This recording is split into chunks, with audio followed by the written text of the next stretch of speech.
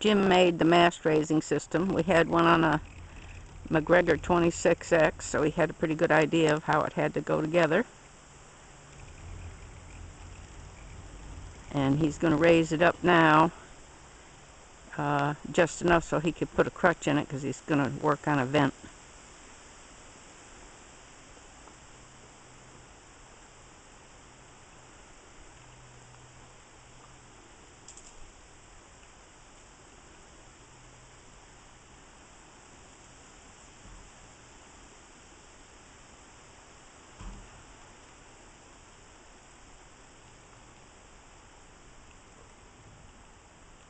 Guess it's got to go a little higher.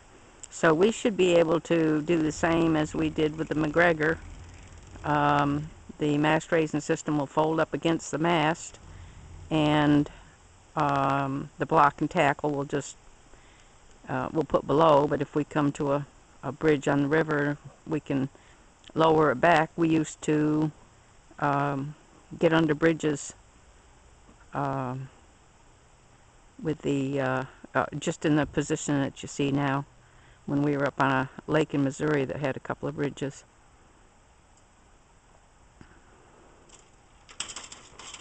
We'd lay it back, go under the bridge, and crank her back up again.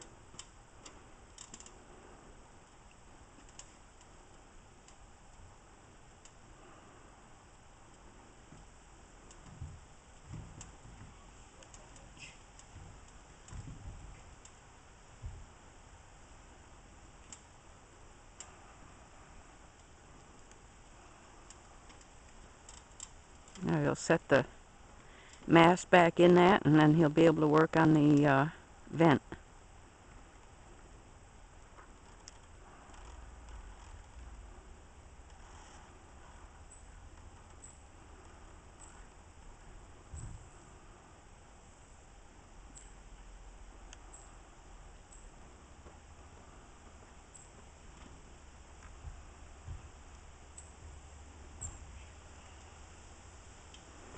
Course, it'd be easier if I was back there helping, but